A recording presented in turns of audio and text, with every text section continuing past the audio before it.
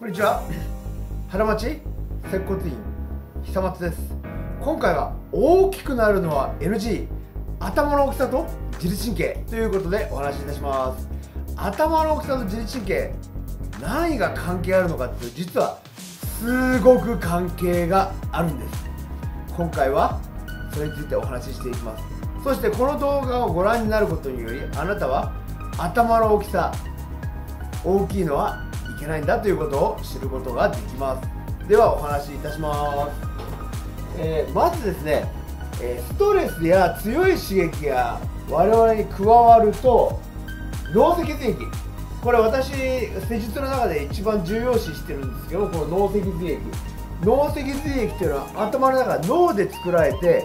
背骨の中を通る太い神経の玉脊髄っていうのを通って全身にそこから最終的に回って全身の神経に栄養を与える液体なんですよ。この流れが悪くなると、えー、全身の状態が、えー、悪くなってしまうんですけどもこの脳脊髄液の流れが悪くなっちゃうんです。そうなってくると本来流れるべき脳脊髄液が頭に滞っちゃうんですね。流れが悪く滞ると。そうなるとどうなるかというと結果滞った結果流れないので頭に溜まって大きくなってしまう。頭が。頭が大きくなるとどうなるかというと大きくなるので中が膨れてしまう。そうなると中に脳に中にある脳に圧力かかっちゃうんですね。そうなると脳に圧力かかって脳圧が高まる。脳圧が高まるとどうなるかというとそれがよろしくないんです。自律神経の働きが鈍くなります。そして鈍くなるだけじゃなくて脳が誤作動を起こしてしまうんですよ。この脳の誤作動パニック障害とか不安障害とかそういったものをいろいろ引き起こしてしまいますですから大事なこと頭が大きくなった時に大事なことっていうのは頭蓋骨をしっかり整えて脳圧を下げるっていうのは重要なことになりますそうなることにより結果、えー、滞ってきた脳脊脳脊髄液がしっかり流れて、えーなえー、頭が小さくなります頭が小さくなってくれると自律神経の働きも、えー、しっかり元に戻って成長の働きになります。そうなると脳の誤作動も小さくな起きなくなります。ですから頭の大きさすごく大事なんです。頭は大きい小さい。じゃあどうやって測ればいいのか。人によって体は違うから分かんないんじゃないかってね、えー、お考えになったかもしれません。その頭蓋骨頭の大きさ見る指標はあるんですけど耳耳の一番上の部分にあなたの手根を当ててください。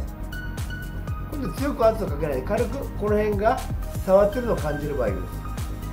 反対も同じように。そして指を合わせた時に指が重なっていれば OK です。ところが、えー、頭が大きくなってる。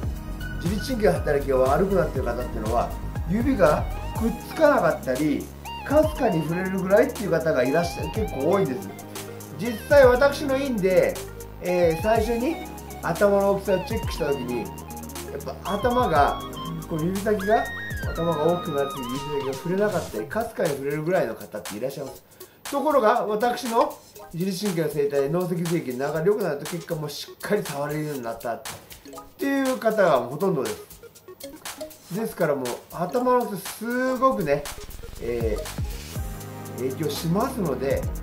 ぜひねこの頭の蓋しっかりご自分で測ってみてもし頭が大きいようでしたら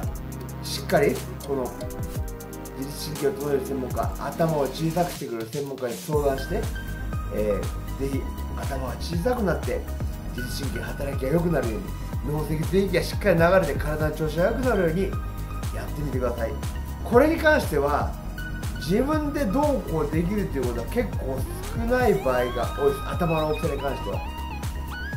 ですからあのしっかりとね、えー、自分で普段の生活を気をつけストレスを減らしていく。ストレスを減らすっていうのが、まあ、唯一できる方法になります。しっかりストレスをね減らすようにして頭が小さくなる努力をしてください。物理的に自分で脳脊髄液流流すっていうのはかなり難しいですからえー、本当に専門家でないと難しい。自分でやって真似して余計に悪くなることってあります。ですから変に自分で頭をいじくってよくしようって思わないでその際は専門家に相談するようにしてみてください。それは私であっても私でなくても大丈夫です。というわけで頭の大きさね、えー、まずあなたご自分でねしっかりチェックする見てすることをお勧めします。ということで今回の話もう一度おさらいすると、えー、あなたにストレスや強い刺激が加わると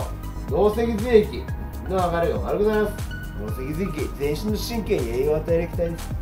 えー、悪流れが悪くなって頭にとどまってしまって頭が大きくなる。頭が大きくなってしまうと脳に圧力かかって脳圧が高まってしまう。脳圧が高まると結果、えー、脳の働きも悪くなるので自律神経の働きが鈍くなる。そうなってくると脳が誤作動を起こしてしまう。そうならないようにするために頭蓋骨を整えて脳圧を下げることが大事に重要なことになります。脳脊髄液が流れてくれると頭が小さくなって自律神経の働きが元に戻っていい状態になります。そして、えー、この頭の大きさを測る指標なんですけども、えー、手根部が、えー、耳に触れるように左右。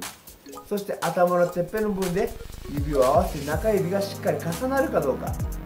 触れるぐらいでダメですしっかり重なるっていうところまでいかないと、えー、頭がね、えー、いい状態になってると言えませんしっかり重なるぐらいあの頭のね状態小さくならないといけないのでぜひチェックして。もしあなたが必要だと思ったら、えー、専門家に、えー、相談してみることをお勧めいたします。もしあなたが今チェックをしてみて自分で頭が大きいと感じてしまった場合どうにかしたい？もしくはもうすでに自律神経の症状が出ていてどうにかしたい？ということでしたら私があなたの役に立ちます。私の自律神経の生態であなたの体の疲れ内臓の疲れ脳の疲れを回復させて自律神経が整うお手伝い頭が小さくなるお手伝いをさせていただきます。またご自宅があなたが遠方であったり外に出るのが辛いぐらい調子が悪かったりまたはこのご時世、えー、移動して人に体を触られるということに対して不安がある場合そんな時はそんなあなたのために自宅にいながらパソコンやスマートフォンの画面を通してあなたのお体の調整をさせていただくオンライン遠隔整体というのをやっております。これでしたらあなたは、えー、自宅にいながら人に体を触られることなくお体を整えていくことができます。そんな私のオンライン遠隔整体や自律神経の整体に興味がございましたら下の概要欄をご覧になって電話でもメールでも LINE でも私にご連絡ください。そして私毎週木曜日21時からインスタグラムでインスタライブ。毎週日曜日21時から22時の間スタートでご覧のチャンネルで YouTube ライブ。ライブ配信を週2回やっております。内容は同じなんですけども1週間の配信した動画の復習とあなたからのご質問にその場でお答えしていきます。またライブ配信の最後では、えー、ご希望がございましたらいらっしゃる方全員で合同でお体を整えていくオンライン遠隔整体合同版もやっております。1対1のオンライン遠隔整体に比べると効果が下がりますけどもやった方からは手足が温かくなったよく眠れたという声もいただいております。よろしければ私のライブ配信もご参加ください。参加していただけると私非常に嬉しいです。そしてこの動画があなたにとって参考になるようでしたらグッドボタンチャンネル登録していただけるともっと嬉しいです。ということで今回も動画を最後までご覧いただき誠にありがとうございました。